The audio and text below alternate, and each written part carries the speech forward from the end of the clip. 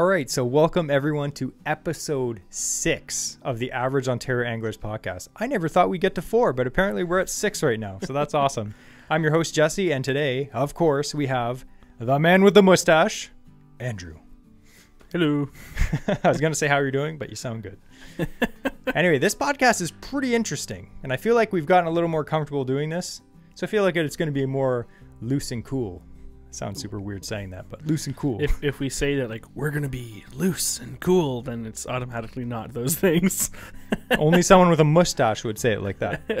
but anyway, this podcast is very interesting because two podcasts ago on episode four, we talked about steelhead fishing basics.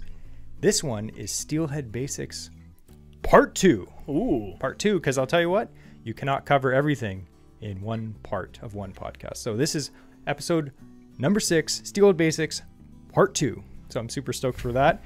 and we would like to thank the sponsor of our podcast giveaway, which is Fish heads. Fish Heads Canada. And uh, Fish Heads Canada. The best part of the fish to, to eat. No. Yeah.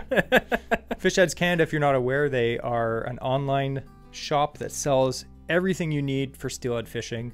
Uh, we've purchased stuff from them rods, roe. The main thing that uh, I really like from Fish Heads is they have their pre-packaged, already cured roe. Yep. And we're going to get more into that For someone like me who doesn't feel like doing it and can't catch that first ten and get my own. Yeah. But we're going to get more to get it. into that. But they sell everything hooks, beads, everything you need. And uh, Jake, the guy that runs it, he's a legit guy. The guy's a hammer. If you check his Instagram, that guy knows how to fish. But we'd like to thank him for sponsoring our giveaway. And we're going to announce what that giveaway is after. It's pretty good, right, Andrew? It's it's exciting. It's very sure. good.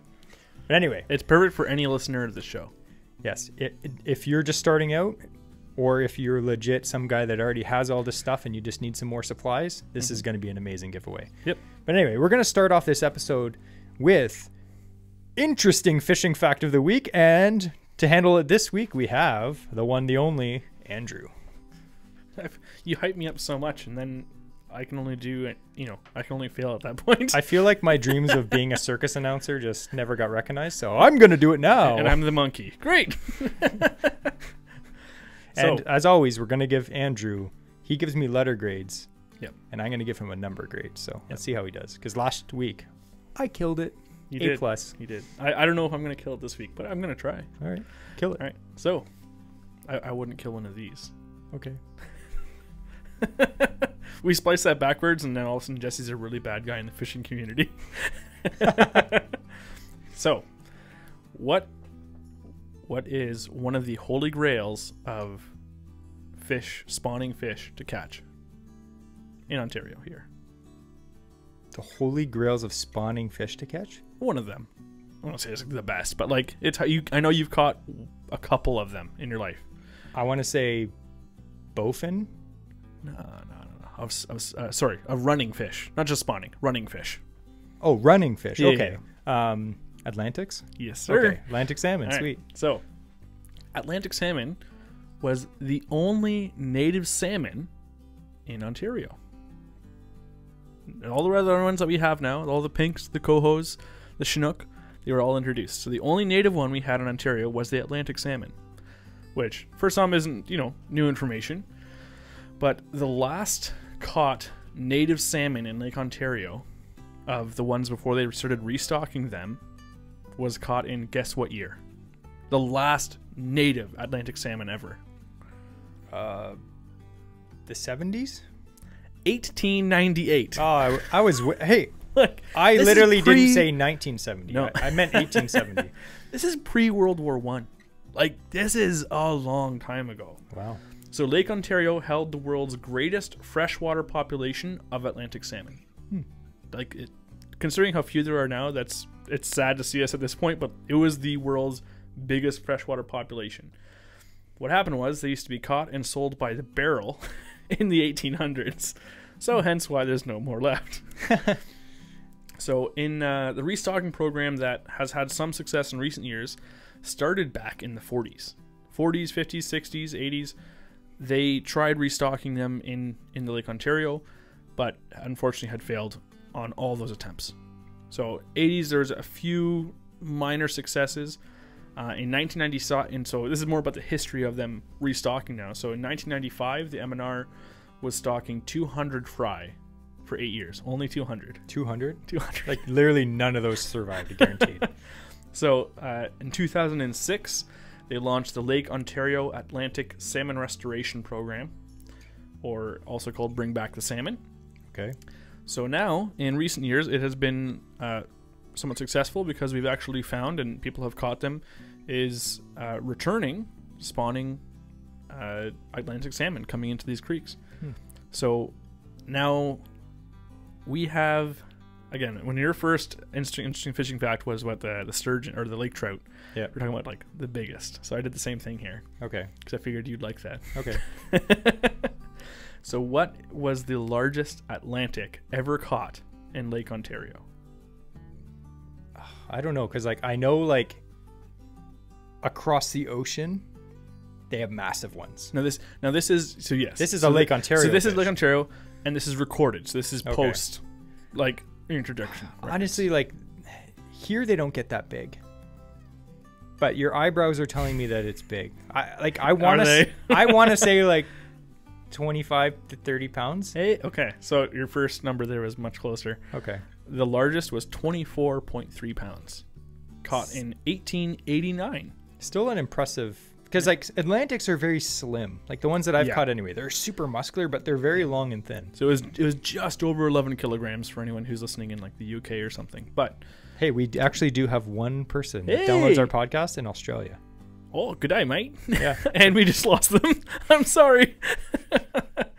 so, uh, the largest ever recorded. This is a netted fish. The largest netted Atlantic salmon in the world. First, first guessed what country it was caught in.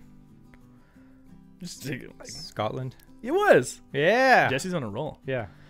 So you want to take a guess? This is in 1960. It was a netted fish. Okay. Take a guess at how many pounds it was. I know they get massive over there. Like they're giant. I, I want to say like 70. 109 pounds. Oh, that blew my mind. Like I thought only big. kings got broke the 100 mark. yeah. 109 pounds. That's a giant fish. That's bigger than the record king salmon in Canada. Oof. Like that's bigger than BC king salmon. That's insane. that's that's way bigger I, than I I thought. can't imagine Atlantic salmon like being 109 pounds. So yeah, that's that's my fact. That's all. that's interesting. And I'll tell you, uh, the only reason I knew this stuff about Scotland and stuff is because I was watching um uh what's his name? Jeremy Wade yes. and uh River Monsters and he was fishing like he was fishing somewhere over there in Scotland for these big Atlantic salmon. It's very cool. And I, I have to say like they have been coming back. I I I hear a lot of like conflicting opinions on if the MNR should continue to try to stock Atlantics because it's not very successful from what I Yeah. hear. the Should- the, the should they put the money into other fish that would be better, like lake trout or like rainbows or salmon? Maybe, Yeah. but I don't know. I don't know enough on the subject to speak on. There's so much has changed with the Great Lakes since they were thriving that they just can't the numbers can't get back like they were, right? Yeah, and plus, like they introduced like all these Pacific salmon, Yeah. and it's just it's a different lake than it was back in the 1800s, obviously. Yeah. But it is nice to see them being caught in the fall. Yeah. Like I've caught a few, it's and cool just to at least have, even if they're not going to be in the same numbers, to see them back and like to see the odd one. I think it's it's great to still to still see around. And But just remember, if you do catch one, they are a catch and release only Yes. fish in Ontario in the creeks anyway. I'm not sure with the lake, but yeah. so if you That was learn interesting. how to identify them, but what am I doing? Number number ratings? yeah, you're doing Okay. I'll, I'll give you a solid 8.9. Ooh, That's pretty good. Yeah. I mean, Alright. it's no A plus like it's like an week, A minus. Oh, Yeah, that was interesting. I like these interesting fishing facts because they're all very Ontario based, yes. except for last week's, which was about you know Ohio. But don't worry about that. Yeah, but I use his lures in Ontario. Exactly, hundred percent. So that was very interesting. Thank you, Andrew, for preparing that. Now, our main topic of Steelhead Basics Part Two. We're gonna kind of cover more of the bait side of it, like the presentation side of it. If you listened to episode four, we kind of tried to cram everything in about where to fish, what rods to use, what baits, and we get a lot of questions on our Instagram all the time. I know a lot of people say that, but we actually do. I I, I get a lot of messages all the time. and uh, it's a lot of them are heard it here people. first. Jesse doesn't believe you when you say we get lots of questions. He's like, yeah, right. We get lots of questions. It's just me messaging myself, but I, we get a lot of messages from people that are just getting into the sport Yeah. and they want to know, you know, what do I need? Do I need all this stuff? Because like you know, a lot of people bring a lot of stuff with them. So we're gonna kind of cover some of the bait, and uh, we're gonna talk about you know actual bait, live bait. We're gonna talk about plastic bait, and we're gonna talk about hardware too. And we're gonna this is gonna kind of be from a generalized steelhead from throughout the spring into after opener and the post spawn. So it's going to cover from, you know, we're talking late February all the way into like late May. So it's going to be very generalized and it's something that me and Andrew have done a fair bit about, especially um, stream trout fishing for Yeah. us anyway. But we're going to start off with the most common and popular bait for steelhead fishing is roe or fish eggs, um, trout eggs, salmon eggs. You can get brook trout eggs, all kinds of different eggs, which the sponsor of our video, Fish Heads, he actually has different kinds of eggs because some people, some anglers, they are like, they prefer like, you know, brook trout eggs, and some of them prefer Arctic char eggs, and all these different kinds of eggs. Some people prefer brown trout eggs, and to them, that's the key.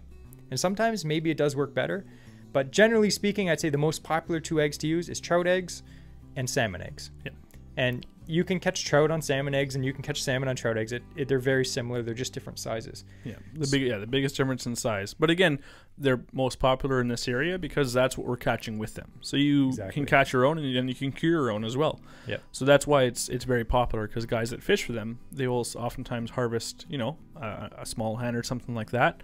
That gives them all the roe they need or the skein that they need, depending on what they've what they've caught, and they'll use that for the season. and it's great bait. Like fresh Yeah. eggs are amazing. My opinion is I feel like most of the time you don't need super fresh eggs to catch fish. When Yeah. fish are biting, you can generally catch them on a really good prepared egg. Like the fish egg, the fish heads eggs. I've been using them the last few Yeah. years. And the, the thing that I personally like about them like we like to pair up with companies that we've already been dealing with for years and and you know, we're dealing with fish heads. I've been buying pre-packaged eggs from him for a few years now. I personally don't like. I used to, but I don't like killing hens if I if I can help it. Because like to me, those are the fish that are going to lay the eggs to keep the populations up. Can you keep the fish? Hundred percent. It's it's your right. It's the law that you can keep. You know, I think it's one or two rainbows now. Um, I'd prefer not to. So what people ask, where are these eggs coming from? Well, they're they're from eggs. Uh, the eggs are from farmed fish. So it's very ethical. These fish are being, you know, They're- processed not buying for it food from some anyway. guy down the street who just strung up 40, 40 trout know, on a stringer hanging under a bridge. Yeah. So like they're they're they're, they're ethical. So if, if you're the kind of person that wants to go fishing and you're like, you know what, I'm totally against killing a fish. If that's you, then you can 100% use fish heads roe because it's from farmed fish that were you know used for food anyway, and mm-hmm. then the eggs that are with the fish, it's actually processed or slightly cured. They're not overly cured, and then they're prepackaged and they're fresh, and you put them in your freezer. What I do is I just you know I pull it out, tie up a bunch of bags, and when I'm done, I just seal it back up, put it in my freezer, and then when I'm ready to go fishing the next time, I just pull it out, let them thaw out a bit. You, you make them as you need them. You don't have to have all this eggs where you have all this big process and maybe you're just starting out and you don't know how to cure eggs. Like maybe you caught a fish with eggs in it. Like that's daunting. Like if I told you right now, Andrew, cure a bunch of eggs for me, I'm going to give you eggs. What would you do? I throw a bunch of borax on it and ruin it. Yeah. so like, do you cure it like a turkey tail? delicious because like curing eggs like i get a lot of questions about this too i'm not by far an expert i have been cure i have been curing eggs for you know more than a few years but it's very easy to mess up a cure you can over cure your mm. eggs and they literally become squishy balls that you can't even pop or you can under cure your eggs and then they rot so it is like i it's happened to people it's happened to me when you cure your eggs and you mess it up. And then your eggs either rot or they're just they're they're not good. They're too hard. even, even and how then it's they a waste. cure if you're not experienced in it and you'll you you might be doing everything right and because they cure they they release their juices right? Yep. and it'll soak them back in. So if, if you're doing it proper and you you look and like all the juices are gone i ruined it and you start adding more stuff whatever now you're ruining it. So yeah, it's it's very easy to ruin eggs, Yeah. and if you know, it's an art form to do it right. Yeah, and like there's degree. so many different ways you can cure eggs, um, and we're not really going to get into that. It's best if you want to know how to cure eggs, look up a good YouTube video on how to do it. Yeah. They'll explain it way better than I can on this podcast. But the good thing about fish head, fish heads roe is it's already done. Yeah. it's already cured.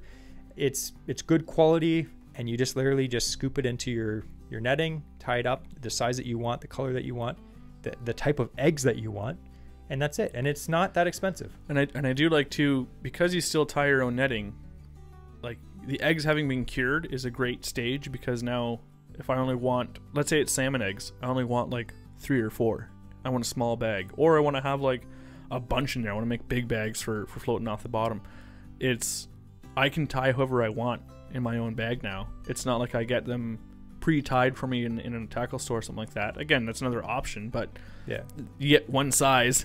And it's like well I, I want it's a medium size. I wanted them smaller. I wanted them bigger. I wanted them Yeah. different. So here you still get to have make your own kind of you're not having to cure it but you can make your own bag size. You have you can dial it in for your preferences still. Exactly, and and it's cost effective. So like obviously getting your own roe is the most cost effective, um, but buying them at the store pre-tied is the most expensive, and Yeah. usually they're not the best.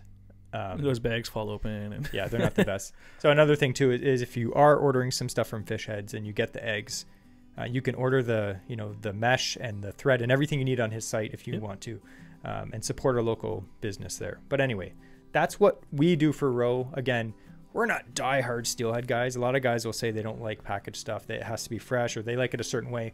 But if you're just getting into steelhead fishing, packaged roe is completely fine. It works great for me. Catches fish. It's good quality stuff. Definitely check it out. Um, beads. Beads. So I'm not that old. i only use the purest mojave glass beads like what I have no clue what he's talking kidding. about. But anyway, so when it comes to beads, I remember when I started steelhead fishing like a long time ago. Like I think I was like, you know, 13, 14 years old. And beads were kind of just like starting to be popular. And my dad my dad would steelhead fish, but he he wasn't a steelhead guy. He he was a trout Yeah. fisherman. He, you know, he'd catch them on, you know, spinners and, you know, dewworms and stuff like that. It's like I didn't really have any experience at all with like fishing steelhead for with like beads and like plastics and stuff. So when beads started becoming popular, I was literally like I was like a skeptic just like I am now. I'm like, that's stupid. I was like, no fish is gonna eat a plastic ball. That's stupid. But again, it was popular, so I went to the store. I remember the first bead I bought. I bought a kitefish chartreuse, uh, 10 millimeter bead. It was a bigger bead, and I put it on and I drifted it through a pool. And in uh, just a few drifts, I caught one. My float popped under, and I set the hook, and boom, it was, it was fish. And I was like, my mind was blown. I was like, these work. and then after that, it was like my main thing I'd use.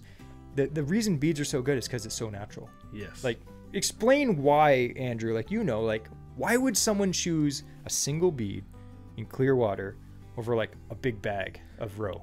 So it all's about the natural presentation of it. So if you have, if a trout dies upstream or a trout is spawning upstream, let's say, they're releasing all these loose eggs into the bottom, and some will float downstream. So you have these single loose eggs floating downstream. You're not having a clump of eggs like wrapped in a skein essentially floating downstream. That's that's unnatural. It has a lot of scent, so in, in really muddy water and stuff like that, it has benefit. But if it's gin clear water and a trout just sees like a mass of eggs flowing at it, it's completely unnatural. It's gonna avoid that like the plague. Yeah, But if it especially in has- pressured water. yeah, and it's it's seen again. It's, it's the most popular, so it's seen them a hundred times on its journey up this creek in the past like three days, Yeah. at least. But you get this small little little bead coming along that looks exactly like uh, a, a small trout egg. It's it's seeing those and it's been eating them and it's having no issues eating them the whole time. So that it's such a natural presentation of it. Just one small bead coming along. It's non-imposing whatsoever. They're gonna they're gonna take that. It's just like instinct for them to see that and be like, "Yep, that's fine." Yeah, they, they'll take it without even thinking about it. Yeah. To them, it's like the most natural thing. And like you said, there's fish spawning everywhere. There's you know dead fish sometimes uh, with dead eggs, and there's it's such a natural presentation as an egg. And like in clear water, you can't go wrong with a small bead too, Yeah. like a six millimeter. Start at eight. That's kind of where you start, and then if the water's a little bit murky, go up to a ten millimeter. If the water's clear, go down to a six. That's what I do, and it works out pretty good. And you hear trout guys like when they're fishing, like trout in, in the later months, they'll say, "Oh, match the hatch," or even you know fishing for anything, match the hatch. If there's you know stonefly nymphs that are in the water, you're gonna fish a stonefly nymph. You're gonna catch more fish. Matching the hatch during the spawn is there's gonna be eggs in the water, fish, fish, a bead, fish, and egg imitation. Yeah. And and one pro for beads, because like beads are great. Sometimes roe bags will outproduce them 100%, especially when you know you need some extra scent or the water's a bit murky and you need a bigger presentation. But one of the great things about using beads and plastics for that matter is, you know, you can just leave them in your bag. You buy a bunch of beads, put them in a little container or a bunch of bags of pink worms, and just chuck them in your fishing bag and just leave them. You don't have to worry about them rotting, going bad, you know, smelling bad. Just keep them in there. And generally speaking, if you're just going fishing and you don't want to use like you know live or live bait or like you know roe, you don't have to worry about it. You just put it in your bag and you're done. And they work. They catch fish. Beads are great, and there's different kinds of beads. We got into that kind of in episode four. There's glass beads. There's acrylic beads. Different you know patterns. There's ones with dots on them. All kinds of colors. There's glow beads. And Generally the- speaking, you know, there's there's like the the dead the dead egg bees are like white, right? So Yep. it's, it's mimicking. Uh, even they might not look like a natural color, but it's mimicking the different stages of an egg that be floating downstream. And I 100%, we have a video on our YouTube channel, Yeah. the, the dead egg bite. And if you're fishing like an off white bead or a cream colored bead or a white bead, late season, like when the fish are like kind of done spawning, because like you have to think a, a trout egg coming out of a trout as they're spawning and it's tumbling downstream in cold water, those eggs turn white. Mm-hmm. If you get any egg and put it in cold water, like a trout egg, they turn white because they're not cured, obviously. So that white egg or like a, a light colored egg And it's not imitation, fertilized, so it's it's dead now. That's why Yeah. it goes. it's perfect. It literally, it's great. And, and after opener, the white egg bite for me, it's just, it's been fantastic. And again, too, because steelhead are coming back, those eggs are filled with protein. Like for Yeah. them, that's that's energy for them that they need after expending themselves, getting all the way up that creek.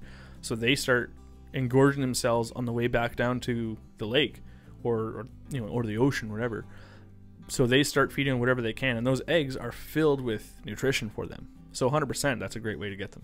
100%. So, like, you know, you got roe and beads, which imitate eggs. And then we're going to go on to uh, plastics. So, like, plastics, like we said, one of the most popular steelhead baits is the pink worm.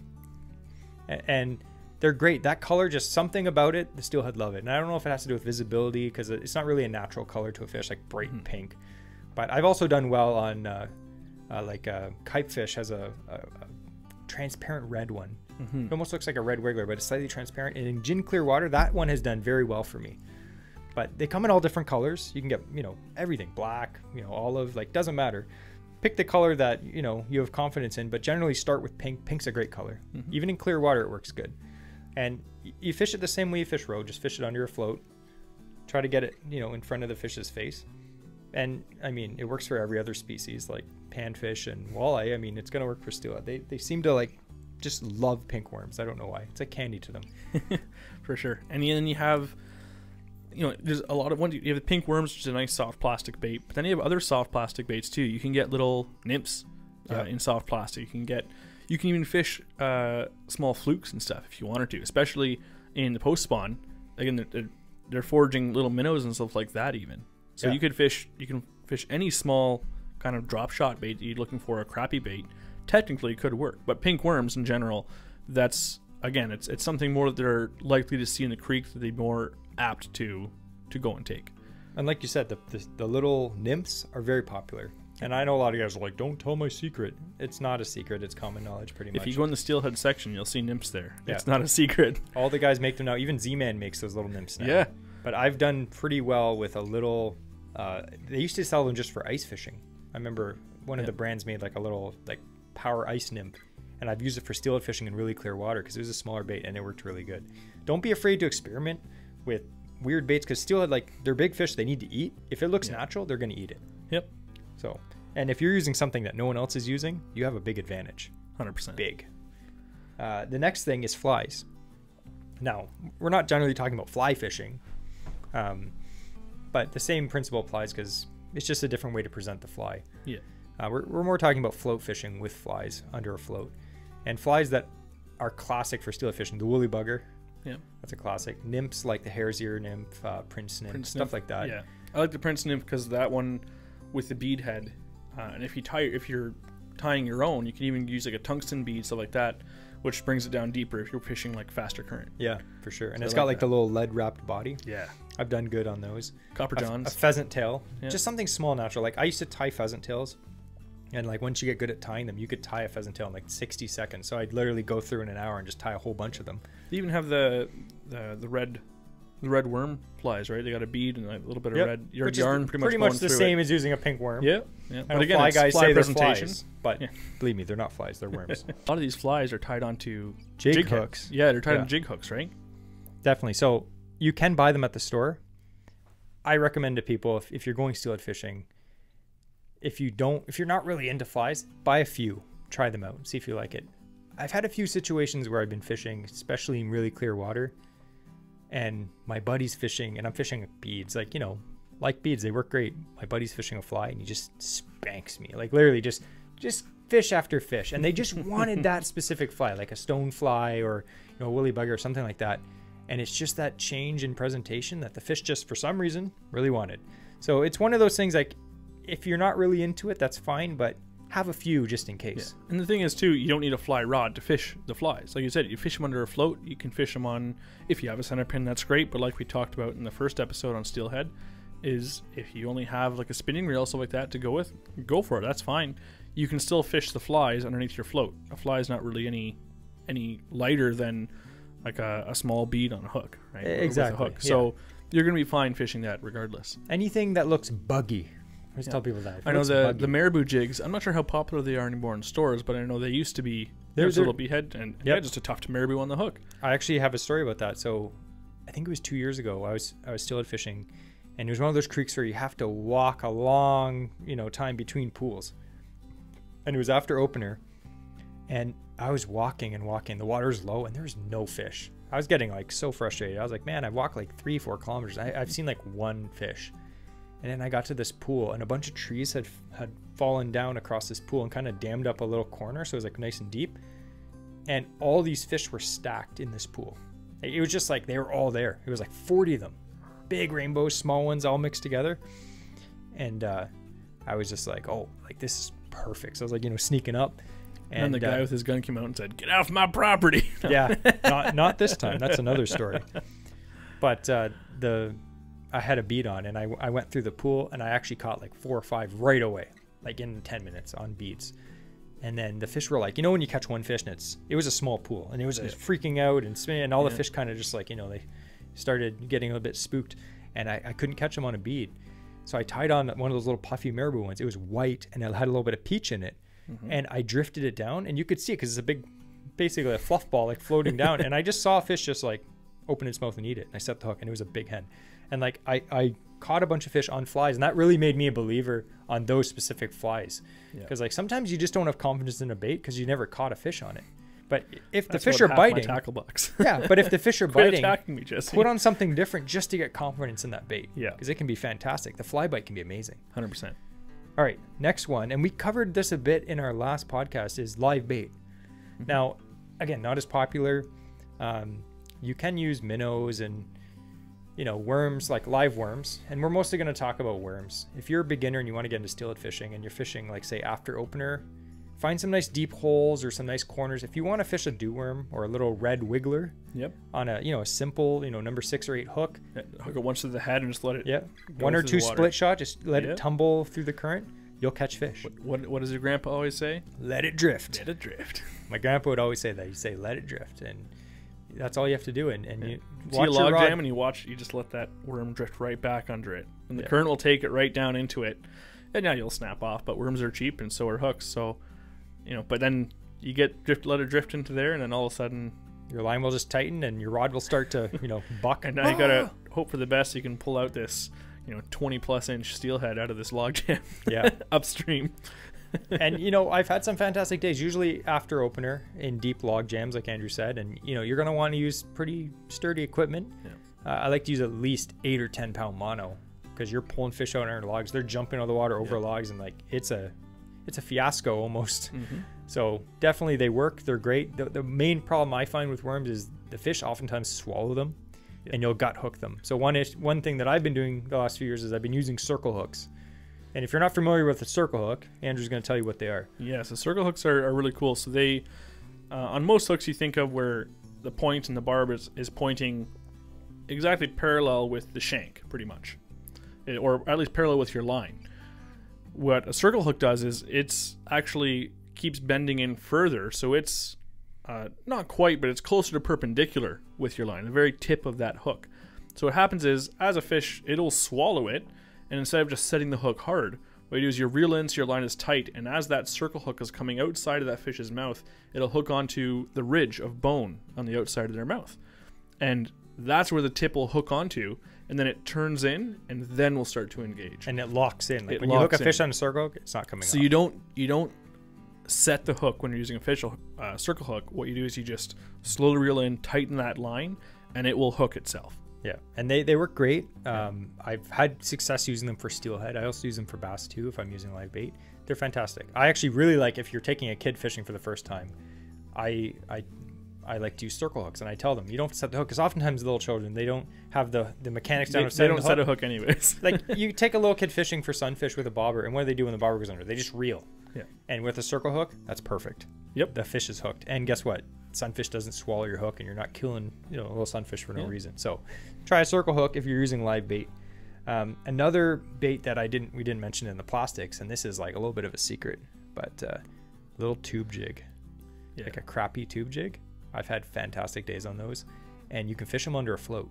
The pro- here the thing like you were saying with the crankbaits in the last episode, you can't use a legit crappy jig head because the hooks are thin. Yeah. steelhead will bend that out no problem. So you actually have to use a legit strong gauge hook like a steelhead jig. Yep. But put a little tube jig, those little crappy tube jigs. I've had really good success with a bunch of colors, but the pearl white ones, I'll fish it under a float, really good.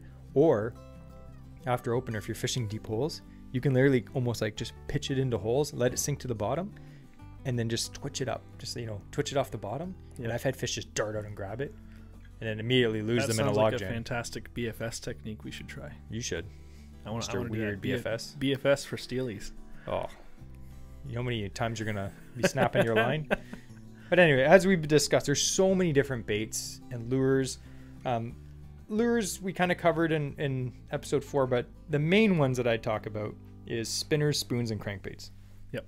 And my favorite way to catch a fish, like on a on a in the creeks, is a spinner. That's that's my favorite. A little panther martin or a little Mepps. Hundred percent. I love. I love panther, martins Martins. because they get deep in Yes. current. Yes. Sometimes if you're using like a, a Mepps Aglia, they, they, they hold too high in the water column because the blade configuration it just catches too much water. So the Panther Martin runs off. It's called a commonly called a sonic blade, uh, like style blade. And so the there's no hinge that it's revolving around. The blade is revolving around on. So that's like a French spinner, uh, like your classic Mepps and stuff like that. So you'll see a little bracket that the blade is attached to. That bracket is on the shaft.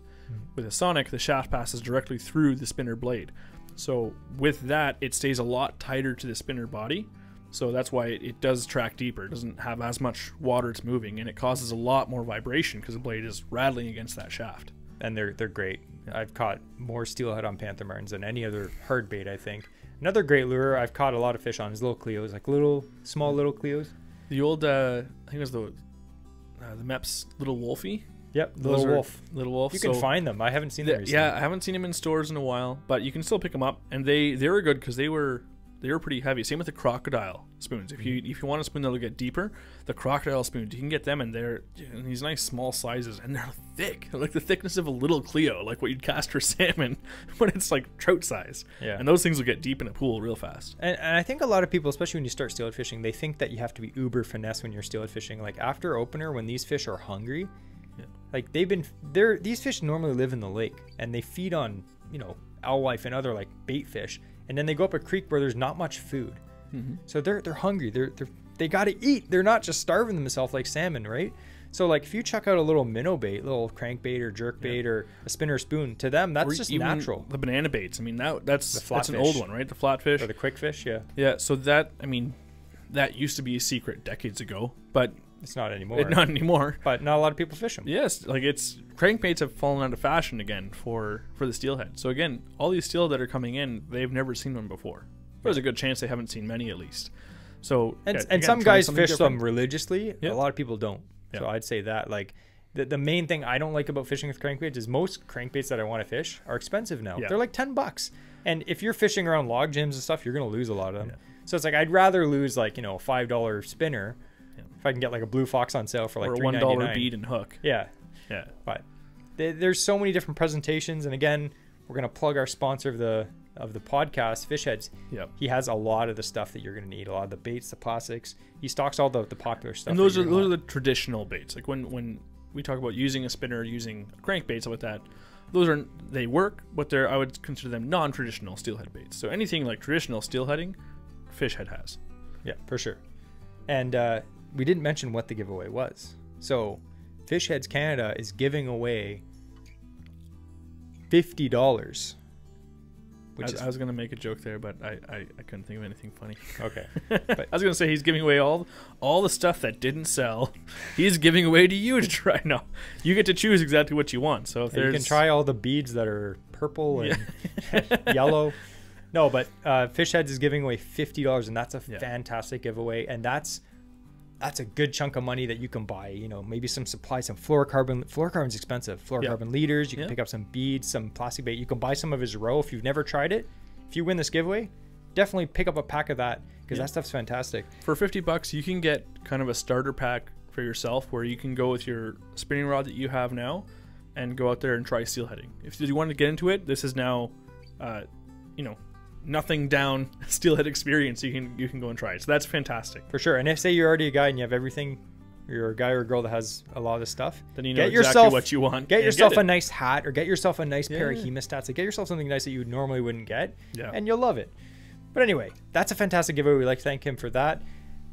We've had really good giveaways on this podcast so It's far. been it's been amazing I've been really support. happy with Yeah. the support from the local guys, and we're trying to get you know mostly local guys and girls. It's been fantastic. So that giveaway, awesome, fifty bucks. That's amazing. Now we're gonna go quickly through um, gear for beginners. This is a basic video, so like Andrew's gonna handle the hardware bit, and I'm gonna handle the float fishing bit.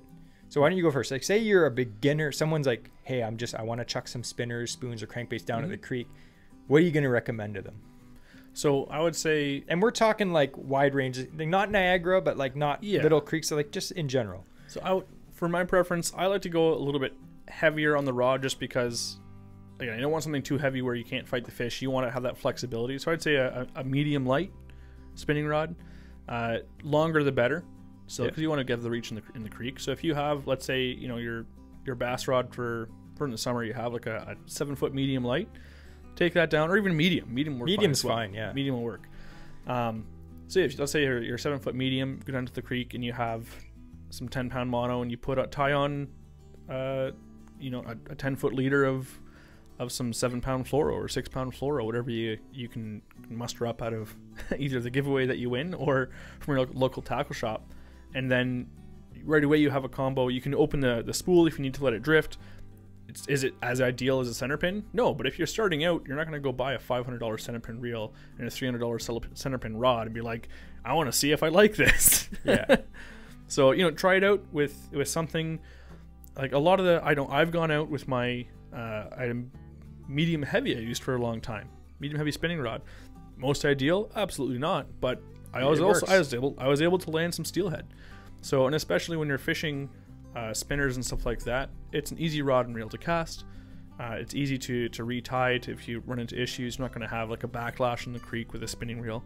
Mhm. So it's it's probably your your best run of the mill thing. I would suggest to get started into it because you can then fish a float on it. You can easily fish and cast your spinner, your crankbait. and it's probably worm. something you already own. Exactly, You probably yeah. already own like a medium spinning. So that's like your most budget, you know, thing to get started into it because either if you don't have a rod, get that because you can use it all summer long yeah, as well. Or if you already have it, use that. Exactly. And if you want to get a little more advanced, a great rod for fishing, sp- like hardware, spinner spoons, crank- crankbaits, I have a nine foot six medium light um, spinning rod. And I, I'll pair that with a 4000 Shimano 4000, and I'll load that up with, you know, 10, 8, 10 pound mono. And the bigger reel is great, not just for it's not like you need the capacity of it's you know you're in a creek and especially the East Trib something like that. You're not having this thing run two kilometers downstream on you. Yeah. But Smoother drag. the drag is what you want. Yeah. So it's a it's a bigger drag system. It's going to operate smoother because these fish they fight, and you want it to take that drag off smoothly, so it's not putting that stress and going to snap you off. Because you're going to be using a light leader most likely. Yeah, and the the thing is too, a four thousand is great because if you're gonna go shore casting, Yeah. the same combo works great for chucking little Cleos. Yep. Now again, for salmon. a medium light, you could also go medium. I mean, I like a medium light because it does offer you that extra reach. The longer rod gives you more reach, so you can help you swing Mm-hmm. around the you know different holes and around logs and stuff. And then the medium light gives you some shock absorption for when you're fishing, maybe lay, layer line like eight pound test. Mm-hmm. So that would be in ideal situations for me. I'd recommend anything between eight and nine and a half to ten feet long would be great. If But- if you were using a heavier rod, uh, my recommendation would be for the line is I'd have your main line be mono, because as we learned in the line episode, mono will give you that stretch instantaneously. So as soon as any pressure is exerted on the mono section of your line, it's going to start stretching and give a bit more flexibility overall on that fighting distance. Whereas fluoro won't start to stretch until half of its weight rating is, is exerted on it. So you're again, you're not going to need you're not fishing crazy far, so the mono's not going to hinder your sensitivity at that range, but it could give that more elasticity if you do have a heavier rod Or something stiffer. or yeah. stuffing stiffer. Mono will help compensate as well. And mono is my choice. If I'm fishing spinners, I, I like an eight or ten pound uh, copolymer line, and that for me is fine. Some guys like braid, that's fine too. Um, and then gear for like float fishing, like we mentioned. If you want more information about the float fishing side of it, check out our episode four, Steelhead Fishing Basics Part Yep. One. And you know we're talking about 11 to 13 foot medium light, light medium light float rod. And uh, I get a lot of people uh, like different things on their float reel. If you're using a float reel, you can put anything between 8 and 20 pound line on it. Yeah. I generally like 10 or 12. And then your leader is just going to be lighter. So if you want Um, more information on that, we're not going to go in depth on that for this. I'm just episode. nodding because I don't own a float reel. I'm like, yes, that sounds right. Yeah. as long as your main line is heavier than your leader line, you're Yes. good. I don't like it to be too close. Like if you're using six pound leaders, you don't want to use an eight pound main line because that's very close. I don't want to ever snap off my float if I get a snag. So I'm always going to have at least 10 or 12. I actually like 12. Yep.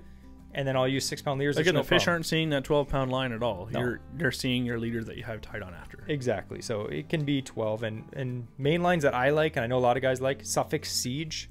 I like Suffix Advance. It's a copolymer. A lot of guys, you know, like you don't need expensive mainline. Uh, I've kind of gone away from using the big box spools of the cheap float fishing float line, Yeah. but some people like it. So what can I do? Because you know, as Jesse said in previous episodes, is you know, fluoro for steelhead. A lot of steelhead guys they swear by. it. You ask them what they're using, they're going to be running fluoro on the on at least on the leader. Yeah. But again, the fish are seeing your first at most six to ten feet of at most six to ten feet of line. So Anything most above you that, need six to ten feet of fluoro, and the rest can be high you know, vis. high visibility, whatever Yeah. you want. And a lot of people like and it's going to be a lot vis. cheaper to spool your rod, up, spool your reel up with that. hundred percent. So you, it doesn't have to be complicated. I think a lot of people when they get into steelhead fishing, they think it, you know these fish are so smart, they're so hard to catch. They're not. It's just there is a learning curve, like we mentioned. There's a learning curve, and the gear and how to use the gear and how to present it in current. It's a little bit complicated at first, but once you get that down, it doesn't take long. You can. I know people that start steelhead fishing, and that year and the next year, they're slamming fish Yeah. because if you do your homework and and you know maybe you have a buddy that is really good at steelhead fishing and takes you out, you can get on That's fish. Jesse to me. Yeah. So when when Jesse, when we were young and we'd like write letters to each other because we were also pen pals who lived like an hour away, and at the time we couldn't drive. So, Yeah. But you know, Jesse would be telling me about you know steelhead fishing in the spring, and and he's like, oh yeah, fishing a bead or you know drifting floating pink worms. I'm like, okay, like wh- what's that? I, I I could not comprehend it, and he'd tell me he's like, oh, you should go out. You know, I can't go fishing with, it, but you go out fishing for steelhead. Like, I have no idea where to begin. So I never did it until Jesse's like, okay, we're going out steelhead fishing. Went out together, and that was the first time I ever did it. And I'm I'm glad I was with someone who knew what he was doing. And again, Jesse will tell you he's not like a professional, but at least he's had experience on the creek. He he at least knows the techniques and whatnot, especially at the time. So for me, I was able to just have a visual, you know, idea as to how it's done. Because watching YouTube videos, I mean, they're really instru- they're informative. Um, 100%. Watch them before you go out, because the more you can learn, the better. But when I was starting out, I didn't have YouTube videos to go watch. Like YouTube was around, but it wasn't In- populated with Yeah. good quality videos to actually learn from. And speaking of good quality videos, we have a steelhead fishing basics video on YouTube that has over 800 thumbs up on it, so it must be good. So check that out. Yeah. So yeah, if you can get someone who, uh, you know, doesn't mean you have to pay for a. I mean, if you go with a guide, you're going to learn a lot. You're going to year, learn years of information if you go with a guide. Yeah. If you go with someone who at least you know that's their hobby to do it, you're gonna take a lot of the pain of trying to figure this stuff out for yourself out of the equation. So you're going to get more enjoyment out of it because fishing these things was a lot different than what I had expected of, of drifting, knowing how to drift, how to where to set your bait in the water column, how to properly weight your line. It's it's a lot. It is, especially if you're just coming in as a beginner. Yeah. It's a lot to take in. But thankfully, there's a lot of information out there. And, it's become popular, so there is a lot of content. Exactly. So it's not something that's impossible to learn. Like I always say to people, And it's worth it to learn. Is a learnable skill. Yes. I'm not saying you're going to be like Kevin VanDam, but it's a learnable skill. Did you he can. catch a lot of steelhead? I don't know if he's even caught one. Those bass guys, they can't catch steelhead. Just kidding. anyway, so that's that's kind of what we wanted to cover today. Is more of the bait stuff. Again, as we always say, if you have any questions that we can answer, we're happy to help. Yeah. Um, send us a message on Instagram. Now we're going to do the giveaway, and then after the giveaway, we have Question. A and A. What A and A? AOA Q and A. So our giveaway for the Fish Heads $50 promo code for his website. And we got quite a few people. We're not Yeah. going to say how many because I forget It's how many It's into the doubles of digits. Oh yeah. It's actually it's quite a bit. I mean, like obviously if you have the opportunity to win $50 of steelhead fishing money, a lot of people entered, which is fantastic. 100%. And that's what this is all about. So, Andrew has what's it called? The wheel of names? Wheel of names. The Yeah. wheel of names, and he's gonna spin it. All right, he's gonna spin it right now. Whoever wins this You can hear it spinning there. is gonna win fifty dollars. And the winner is It's easy to say. Yeah. what is it? Nature Daddies. Nature Daddies. Oh, Congratulations to Nature Daddies. I'm not joking. There was a few names on there that I really wanted the person to win just because their name was hard to pronounce, and Andrew would have to say it. But Nature Daddies. I would apologize profusely before attempting to, and I would not try and do bad on it, but I, I inevitably would. Thankfully, I know how to pronounce those two words. I met Nature Daddies at um, Peter Young's uh, kayak meetup. Yeah. And uh, the paddle sport meetup, and he's a nice guy. So I'm actually happy that he won. But yeah, good for him. He's also a guy that you know he still fishes. He does really good. So Yeah. I'm glad that he won it. Uh, if you didn't win We'll the make good use giveaway, that money for sure. yeah, for sure. But if you didn't win the giveaway, guess what? There's another one next week, and the next week, and the next week. We're doing a giveaway every single week with local companies Yeah. which is fantastic. So now we're gonna do AOA Q and A, and Andrew has the questions, All right. and he's gonna decide which one to give me and which one to answer himself. All right. So, Not that one. Okay. so I would say first one, favorite brand of hook or terminal tackle. hmm, that's a good one because there's so many good brands. Um, Let's let's go with hooks because that was. okay. I mean, so terminal hooks. tackle is like a bunch of stuff. Let's go Yeah, with, yeah. with okay, let's then. go with hooks. So like, just for general fishing, I've really fallen in love with, and I think they're really underrated, is the Berkley Fusion 19 hooks. Nice. like if, if i'm buying a flipping hook or like um, just replacement trebles those hooks are sticky sharp and they're really reasonably priced like i've gone through buying you know gamakatsu and owner and all the different hooks and they're all great Yeah. but those hooks for the money i feel like they're the best value and i recommend them to everyone like when i replace hooks on my jerk baits i buy those Yeah. For me, I would say, again, like a lot of the hooks I replace are on my jerk baits and crankbaits, and I love the Gamakatsu finesse treble hooks. oh they're amazing. I love the g things. finesse And- yeah. So I, when I find them and they, they go on sale the odd time, and I'll buy like a couple sizes and I'll buy two packs of each, of each size going up for my to fit, put on my crankbaits because I love it because they're as strong or stronger than like the regular Rapala hooks and stuff that come naturally, uh, or come naturally. they come provided on the baits, but then they're also like thinner gauge, so they they're sticky sharp. They easily penetrate, and then they're stronger than And the they're- stock hooks. They have a coating on them, which makes them slick. And a cool thing that I haven't tried them yet because they just came out is VMC. I'm also a fan of VMC hooks. They actually have a new series of hooks coming out, and it's probably available sometime this spring. They're called the Red Line series, I think, and they're Teflon coated hooks. Ooh. So they look really good. And I noticed a lot of the pros, like Seth Feider and stuff, have been, you know, showing them on their Instagram. But they look really good. And they have like flipping hook, Neko hooks, like all the different hooks, and they're Teflon coated. And they come with like a really cool storage system that's built into the pack that Nice. like clips all the hooks together. They look fantastic. Like I'm sure the regular hooks are good, so I'm sure these are amazing. So Yeah. we're looking forward to trying that. But Yeah. yeah, I'd have to say those brands are awesome. All right. Uh, this one here I'll take this one because it's a funny one. Okay. What? This is from. Oh, so the last one was from Jake Leeson, uh, 27. So this one here is from Lip Rippin' Podcast. Okay. And what stank do you prefer on your jeans? Largemouth bass or big slimy northern pikes? And I have to say, I prefer big slimy northern pikes. Really? And so I know Jesse. Jesse, like, there's a few pictures of him floating around online. I'm sure of him just nose deep in the gullet of a largemouth bass, and he's like, ah, nostalgia. I love the smell of a good largemouth bass. It's it's good, but for me, growing up, having a slimy pike like on my hands and on my jeans and stuff like that puts me at the cottage where I'm. You'll attest to this. We used Yeah. to go wake up early in the morning, drive upriver. Like it would take us forever. Oh, we'd paddle, we'd not drive. paddle. Yeah, or when we did, it was like a trolling motor with like an extra battery, and it'd take us forever to get upriver. We'd pick up these homemade Chelsea buns from a local store Oh yeah. and then eat them on the way back. And inevitably, we'd be catching pike the whole time. And those Chelsea buns tasted better with pike slime on our hands than without, somehow. Say you say that, but I just think it's because I pike think are it was just so because slimy. it was good to eat Chelsea buns while fishing, so it didn't matter if there's True. pike slime or not. Yeah, but pike are so slimy, right? Like Yeah. it's they have so much slime on them compared to a bass. It's like when you have pike slime on your hands, you wipe it on your pants. It's just so much. Yeah. I think that's the one thing that I don't like. But like, they do.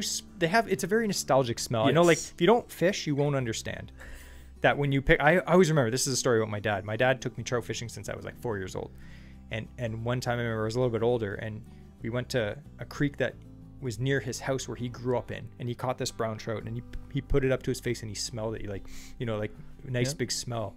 And I was like, why do you do that? And he's like, you wouldn't understand. Like, it's nostalgic. You'll you'll understand when you're older. And I was like, weirdo.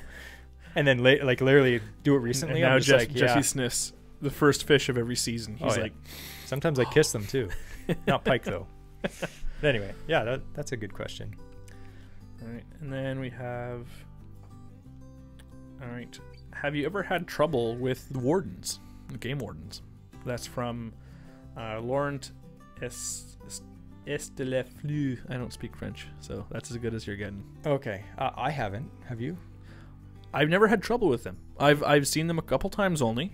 Again, like I know that's a whole other discussion, but there's not many. There's really, not many. for around, for the amount of space of of water and hunting areas. Like they cover it all in MNR. I've only and been these game wardens, they, they're they're spread so thin. Oh yeah, yeah, you're hard pressed to find them. I've only been approached by game wardens, and I I fished a considerable amount of times Yeah. over the last you know years, twice.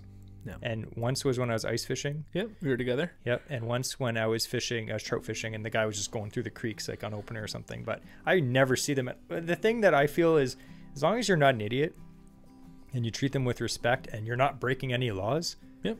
they're gonna be nice guys. Generally, I'm sure there's the the odd guy that's you know having a bad day, but you know, buy your fishing license. It's the law. Don't keep fish out of season. Don't do anything illegal, and they're not gonna have a problem with you. Yeah. And the thing is, too, like, if, if I had to throw my two cents in, these are guys where, again, they're, they're spread super thin. They have to take every everything. They do have to take it seriously because their job is a serious one, Yeah. hundred percent.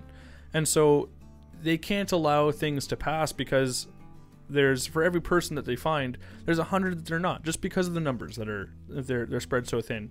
So if there's something that they see that needs correcting, they'll do it, hundred percent. So if you're being a, a jerk to them and you're ta talking back and trying to argue your point when just the fact of the matter is that you're wrong, you're gonna have trouble with them. Yeah. They're gonna get pretty firm with you pretty quick, I'm sure. And I would not fault them at all for that because they need to get that stuff done. There needs to be um, not an example made out of people, but there needs to be uh, like people to, to see the, the reason to follow the law. Yeah. So I, I I've never had any issues with them.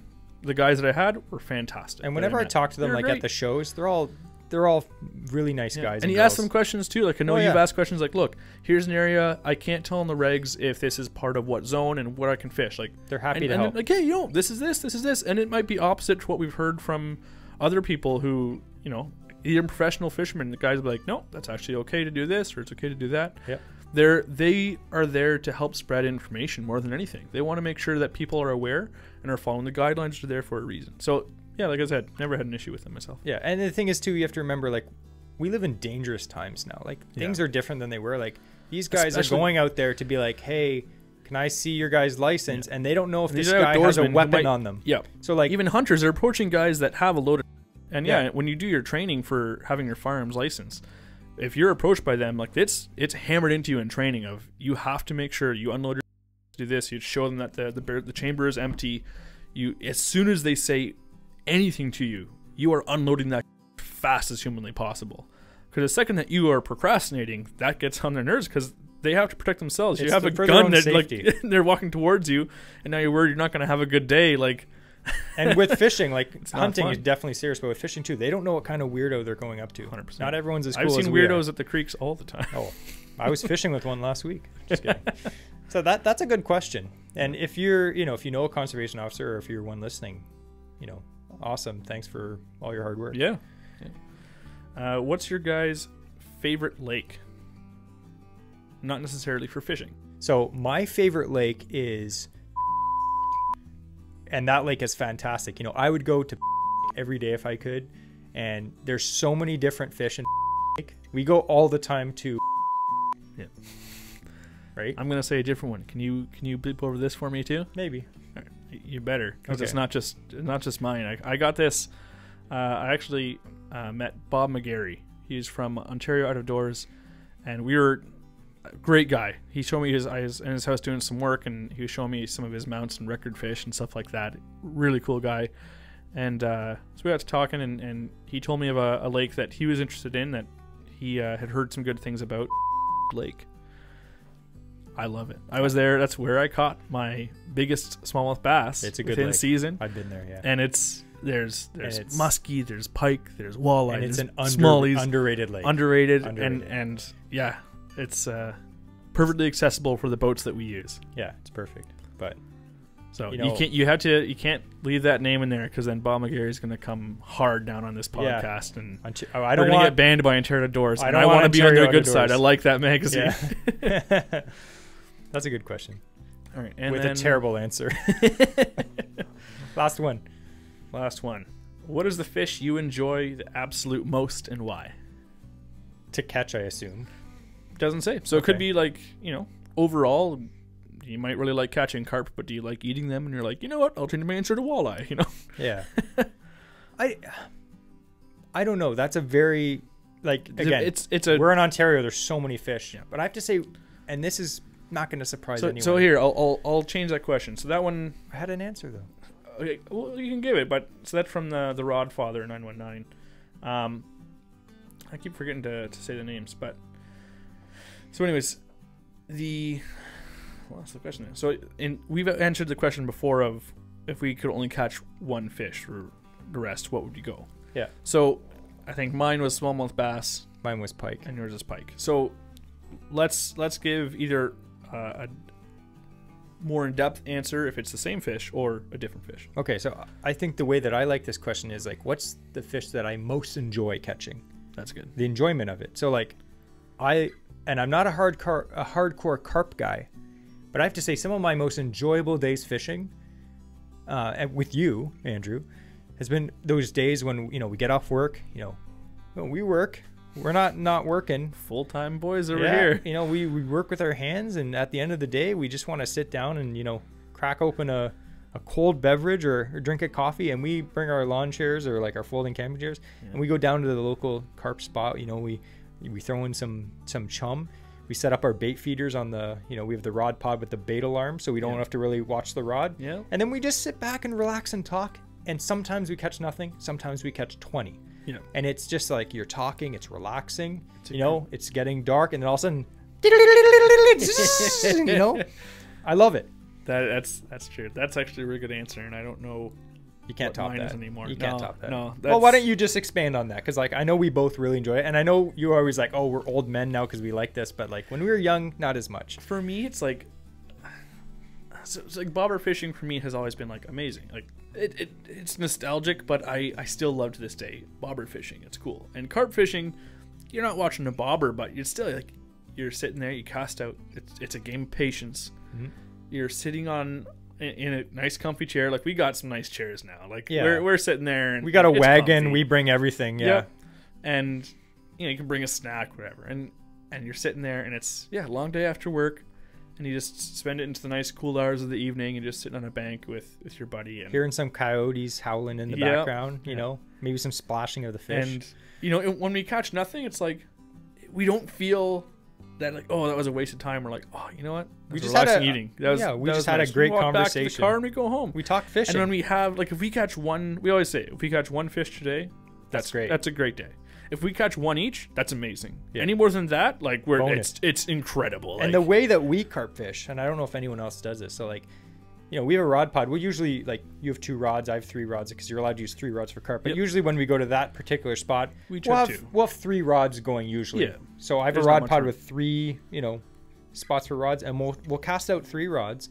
And then the first rod that goes off, whoever's rod that is, that's their fish. And then after that, we just switch so that Yep. even if it's my rod, the next fish that goes off, it's Andrew. And then Yeah. we switch back. So that way it's fair and there's action. It's not like, you know, I'm catching all the fish if I happen to have the hot rod of the night. Because Yeah. sometimes it just happens to be like one, Yeah. you know, spot. And then that way, you know, it's fair. We're catching fish and it's exciting the whole night. and we'll go with like a couple friends or sometimes and and that way too like when you go with friends or i know we went with my wife we went with uh with a buddy royce there and it's like first fish it's Shout the out to. Royce. yeah so you know the first fish is is our guest because just now you know we might have been Wow. carp fishing for you know a few weeks already caught some Yeah. and so it's yeah first fish or if let's say jesse is gone or i've gone before the other person and we go out generally we'll give the first fish to the guy who hasn't caught one yet that year Yeah. and it's it's cool just to have that it's not like a community where it's like a bunch of people but it's just your little group and And it, it and just shows getting everyone it's not about the, excitement. fish. no It's about fishing with Yeah. your friends and and this and you know making the sport more enjoyable for everyone. and carp fishing is is super easy to get into Yeah, we're gonna do an episode on that Actually- 100% This is a sneak peek, but we have an episode coming up in May, yeah and we actually have a podcast guest. yeah He's not our first guest, but he's one of the first guests, and he is a carp guru. And he's gonna, I'm gonna try to dumb it down for for like normal people like us because like he's into like all the fancy stuff, but he's also good at keeping it simple too. So we're excited to have yeah him we'll on. explain stuff in layman's terms and whatnot Yeah. too so We're not going to use like triangulation and stuff. It'll just be like hooks. but anyway, we're excited about that. This has been a good podcast. Yeah, I really like you know trout fishing and steelhead fishing, and I know it is hard for some people to get into it. and we'll probably do an episode uh, poss- i mean you tell me jesse because you have the schedule I scheduled it but- out until June already. But um, you know, at some point, we'll, I know at some point we'll talk more about doing stream trout. Like instead Yeah, of the, the sure. steelhead run, stream trout is is one of my favorite pastimes. it is. In uh, you know, when the warmer weather hits, and there's some drop back still, but but I'm I'm there for the. You're focusing trout. on the native Yeah, trout. I love it. And So- and generally with this podcast, as you notice, we kind of try to keep it seasonal. So like right now it's April. We're talking about you know openers coming up. We want to talk about steelhead, and then guess what? Next month we're going to be talking about carp and walleye and, pike, and then throughout the summer it's going to be more bass. So we're going to keep it fresh every month. Mm-hmm. And again, if you have any suggestions on topics, send us a DM. And again, we'd like to thank our sponsor, Fish Heads Canada, for Yes. giving an amazing prize, and Nature Daddies one Yep. you know and it just goes go. to show you if you enter these giveaways you have a pretty good chance of winning right now we're getting quite a few entries like a lot of the entries we're getting like 30 40 50 entries Yeah. as still, our podcast is growing and it One to fifty odds is yeah, great odds. that's not bad for So, for ha- not having to pay anything to get into it. 100% Like- and and we're gonna have some pretty sweet giveaways Yeah. coming up like this giveaway today was amazing Yep. We'd like to thank Fish Heads again for that.